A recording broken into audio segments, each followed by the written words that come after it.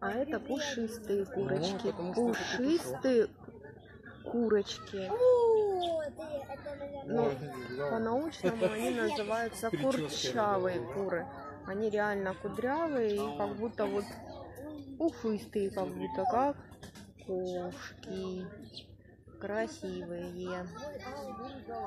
Трогать не дают, кормить нельзя, только показывают.